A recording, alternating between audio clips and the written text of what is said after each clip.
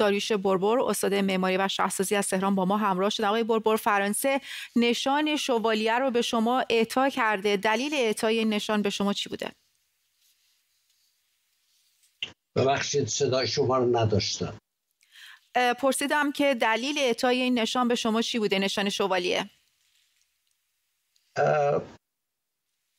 طبق اساسنامه وزارت فرهنگ فرانسه نشان هنر و ادب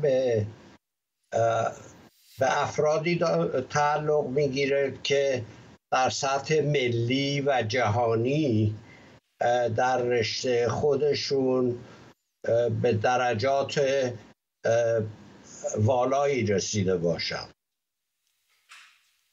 بله. از شما به عنوان پدر معماری نوین ایران هم یاد می‌کنن چه تحولاتی رو شما در سبک معماری رقم زدید که این لقب رو به شما دادن؟ من در 1961 1340 شمسی برگشتم به ایران. و تقریبا از شهرسازی اصلا صحبتی نبود.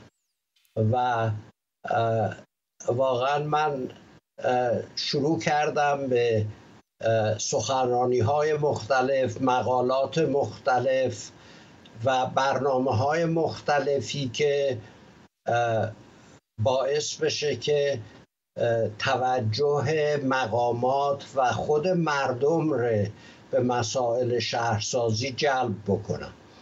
و چندین سال طول کشید تا بالاخره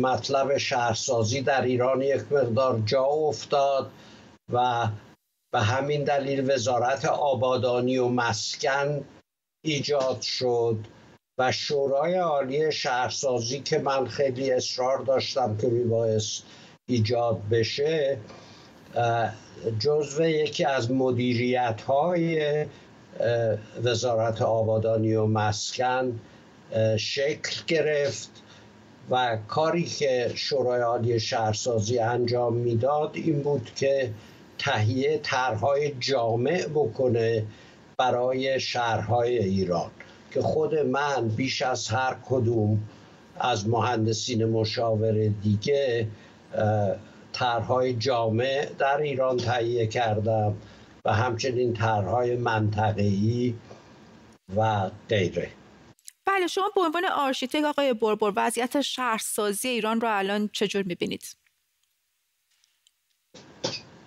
از لحاظ شهرسازی متاسفانه در این طرحهای جامعی که ما تهیه کردیم اشکالاتی که اشکالات زیادی در موردش وجود داشت.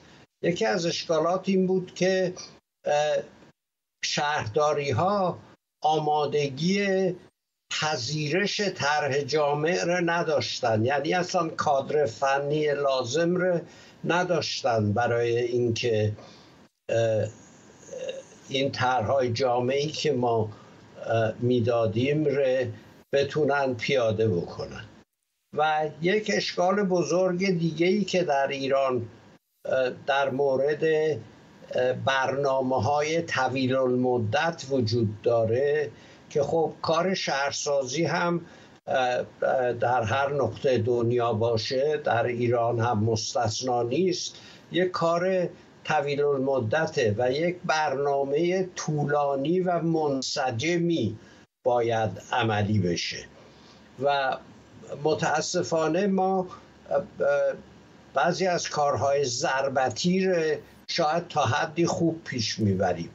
ولی برای برنامه های کارهایی که طویل المدت هستند متاسفانه تشکیلات و برنامه ریزی های لازم رو نداریم و نمی‌تونیم خوب انجام بدیم. بله ممنونم. از شما داریوش بربر استاد معماری و شهرسازی از تهران ما رو همراهی کردیم